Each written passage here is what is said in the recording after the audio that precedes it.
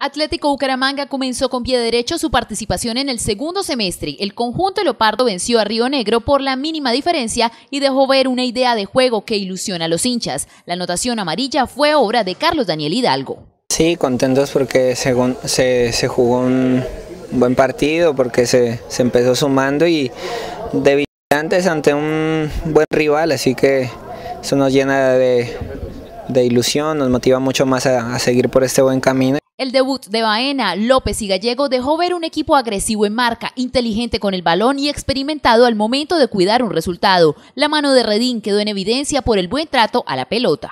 Oh, buen balance. Pienso que para el inicio, para lo que se venía trabajando, es buen balance. El grupo primero, la actitud que tuvo para, para afrontar el partido, el asimilar lo que se ha trabajado y después desarrollarlo dentro del campo.